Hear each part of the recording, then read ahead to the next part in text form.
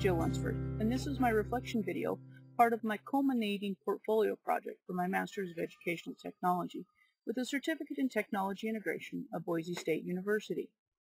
My career as a professional educator started 20 years ago in 1993 after I graduated with my bachelor's degree from Weber State University with a major in history and a minor in computer science.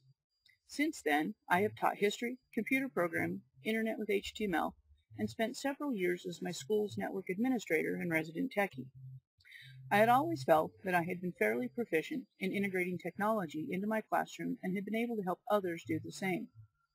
Extending my education with a master's degree in educational technology seemed like the next logical step in my career. Over time I have taken master level courses at local universities, but had felt that the majority of them were lacking in rigor and relevance. I wanted my master's to be a meaningful experience where I could learn new skills which would help me further my professional goals as well as become a better teacher. Boise State's program came highly recommended, with the added benefit that all courses were taught online. My time here at Boise State has truly been the educational experience that I hope it would be and more. It has stretched my mind and strengthened my confidence in my abilities to integrate technology into my classes and to be an example to, and mentor to my peers. Unfortunately, what I realized as I started this program was that what I had to an extent considered technology integration was really no more than using technology as a means to an end.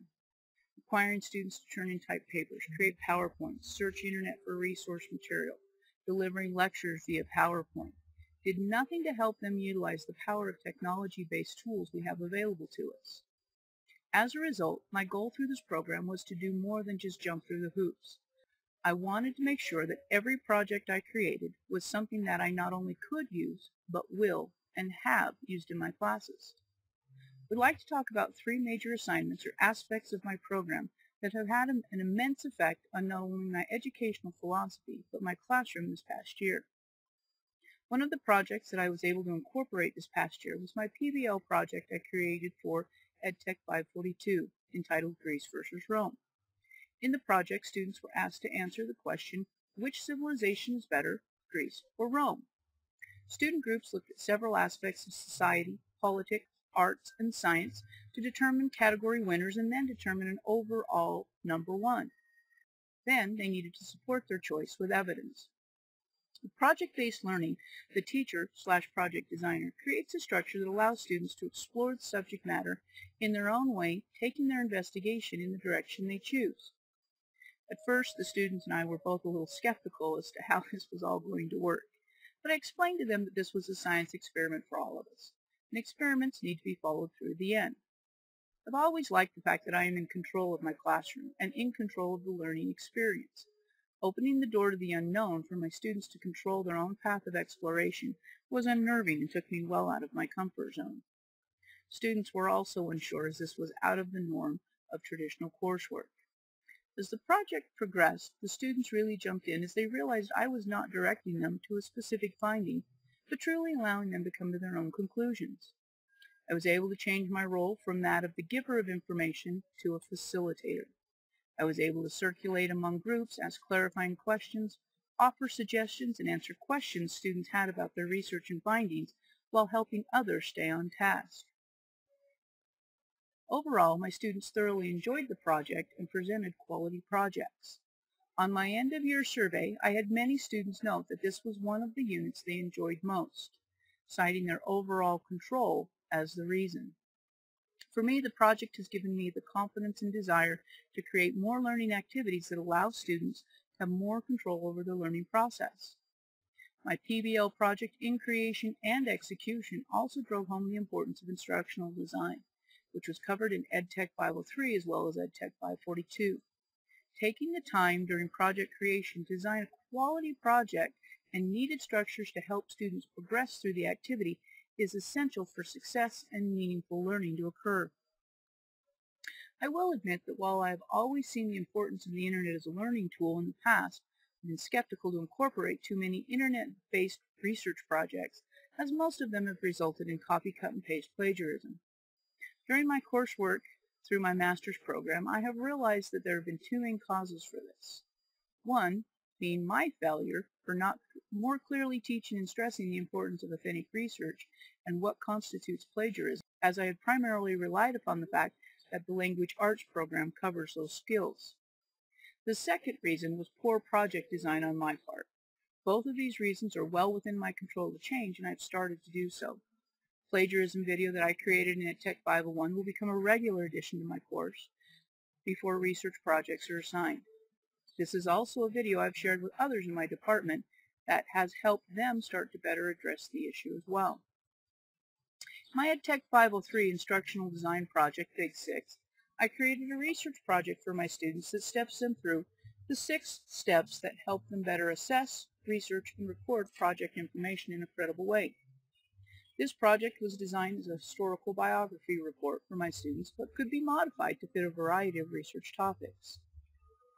In this project, students were asked to create a list of questions that they would like to answer during their report on their assigned figure, create a list of places in which to search for information, and determine criteria which would help them determine whether the site was credible. Then, using provided note cards, they would organize and summarize their research findings and citation information that would be needed in the final product.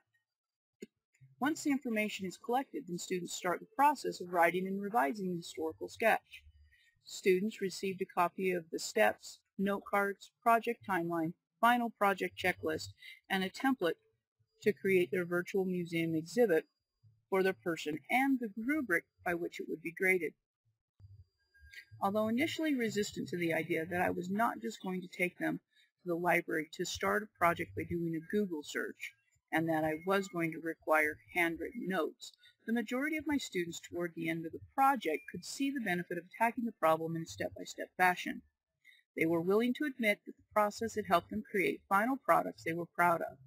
As a whole, I was more confident that students' projects turned in were a synthesis of their research and not just an example of copy, cut, and paste. After having used this project in class, I can now see that research-based activities can be effectively incorporated into my curriculum if they are designed properly. As I create and implement more research projects, they will help me to address many of the standards in the state-adopted Common Core. I am excited to see where my newfound confidence and change in philosophy will take me and my students in the coming years. The last area I would like to discuss is that of true technology integration. With the skills I have learned in EdTech 501, 513, 533, and 541, I have a greater understanding of ways in which I can truly incorporate technology into my teaching that goes much farther than I ever have before. Using research-proven theories of learning, I've been able to create lessons and units of instructions that allow my students to better understand not only content and essential concepts, but also be able to demonstrate that in meaningful, creative ways. My final project website for EdTech 541 is a starting point to integrate cross-curricular content into my history courses, but will also serve as a starting point to share ideas with my peers as I continue to work towards my long-term goals of becoming a district technology integration specialist. Projects I created in EdTech 513, multimedia, and 533 YouTube for Educators have helped me foster skills and understanding that I can create a variety of methods to deliver information to my students even when I'm not there, and more importantly, create multimedia projects that fill gaps in collected resources that can help my students be more successful. The course has also given me a better understanding of Web 2.0 tools which will allow students to collaborate and help each other also be successful in their coursework. In conclusion, my coursework to complete my master's degree has been everything I hoped it would be and more. It has provided me with new perspectives, confidence, and increased my professional toolset that will carry me into the final years of my career and further as I continue to pursue my other professional goals.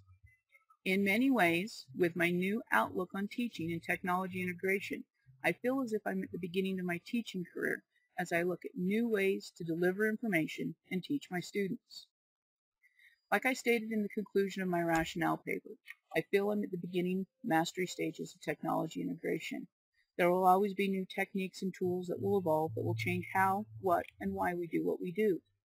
Complete mastery is something that will always be the goal, but is also a never-ending process of learning, implementation, and revision. Technology has come a very long way since I was in school myself, and I can't wait to see what develops next and discover ways in which I can use it to its fullest potential not only for me, but for my students. I would like to thank you for your consideration of my master's portfolio and thank those professors and classmates with whom I have traveled down this long and winding road that I have been able to collaborate with and learn from in the past two years. Thank you.